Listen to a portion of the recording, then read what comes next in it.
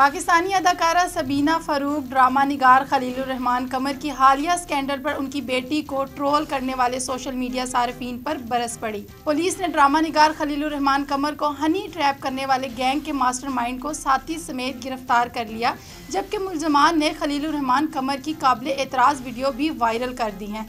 Video viral होने के बाद सोशल मीडिया पर ड्रामा निगार की बेटी टिकटॉकर हिजाब खलील को ट्रोलिंग का निशाना बनाया जा रहा है। सार्फिन हिजाब की वीडियो पर मनफी तबसरे कर रहे हैं, जो इंस्टाग्राम पर वायरल हैं।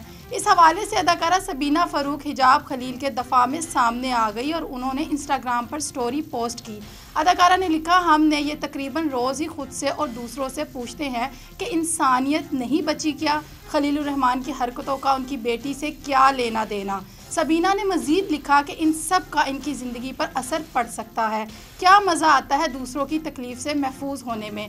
उन्होंने मज़ीद कहा कि बरह मेहरबानी बच्चों की हरकतों को वालदे की और वालदेन की हरकतों को बच्चों की इज़्ज़त और बेज़ती ना बनाएँ।